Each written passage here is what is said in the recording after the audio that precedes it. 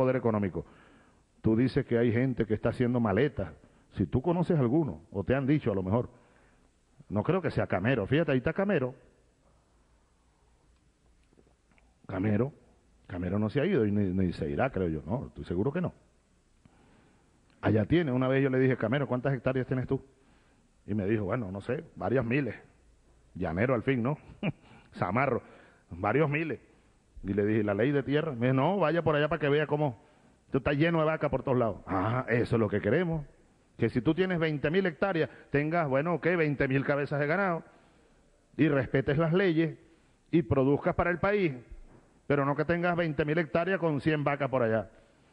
Latifundio, tierra improductiva. Entonces, eh, tú dices que hay, o te han dicho, o tú sabes, ¿no? Me dijiste, ¿no? Que hay empresarios que tienen la maleta hecha. Algo así, pero no fue así que preguntaste. Eh, sectores productivos dicen que de ganar eh, el 7 de octubre, cómo se, se pudiera acelerar un proceso de expropiaciones. Y, más allá de, personas que uno conoce que, que dicen, pues sinceramente, que si gana Hugo Chávez, ellos se irían del país. Pues va a ganar Chávez, compadre. Va a ganar Chávez. Va a ganar Chávez, compadre. Y sobre todo jóvenes, dile a esos jóvenes, si tú los conoces de verdad, ¿no? No tienen ninguna razón. No tienen no hay nadie tiene ninguna razón para irse de este país.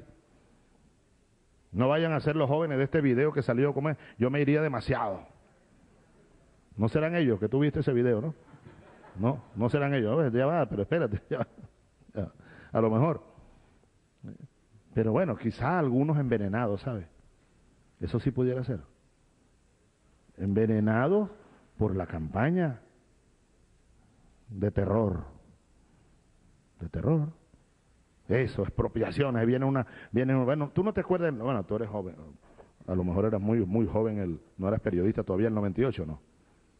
No, bueno, fíjate lo que decían, busca por, eso está grabado en, en, el archivo, en la Biblioteca Nacional, los titulares de prensa y los voceros de la burguesía. ¿eh? A pesar de que nosotros en ese tiempo Griffin, no hablábamos, yo no hablaba de socialismo. No, no hablaba de socialismo. Pero sin embargo, ahí está. Viene la locura, una oleada de expropiaciones. Decían aquellos que los que tuvieran dos casas, ¿te acuerdas, Aristóbulo? Le íbamos a quitar una casa. ¿Ah? Sí, que íbamos a freír la cabeza en los adecos en aceite. Bueno, eso ya es el extremo, ¿no? Pero en lo económico, expropiaciones, eh, las casas incluso, los vehículos, ¿no? El que la familia que tengan cinco vehículos, Chávez les va a quitar cuatro, etcétera. Pero campañas lanzadas por radio, prensa, televisión, tratando de jugar con el miedo. El miedo, que es algo natural en el ser humano, ¿no? El miedo. Guerra psicológica se llama eso, guerra psicológica.